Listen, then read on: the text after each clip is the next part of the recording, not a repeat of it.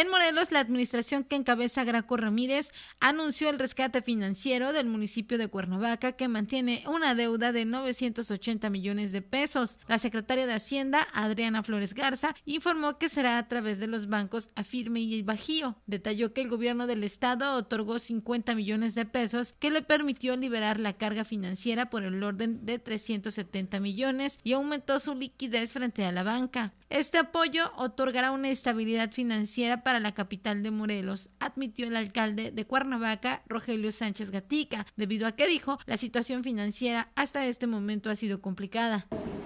Por ello, señor gobernador, a nombre del Ayuntamiento de Cuernavaca, que me honro presidir, expreso mi más profundo reconocimiento a usted. Desde luego a la ciudadana Adriana Flores Garza, secretaria de Hacienda del Gobierno del Estado,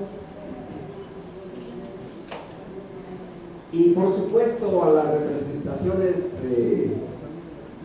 las instituciones bancarias que han unido voluntades en este marco, el presidente municipal electo y priista Jorge Morales Barut consideró que es una muestra de voluntad política del gobernador trabajar sin colores de partidos y subrayó que son los mismos ciudadanos que gobierna Graco Ramírez los que también serán gobernados por Enrique Peña Nieto. Es la voluntad política del gobernador Graco Ramírez Garrido para trabajar sin distingos y en favor de las ciudadanas y de los ciudadanos de Morelos y particularmente en Cuernavaca, queda también acreditado que las ciudadanas y los ciudadanos a los que el gobernador sirve también son los mismos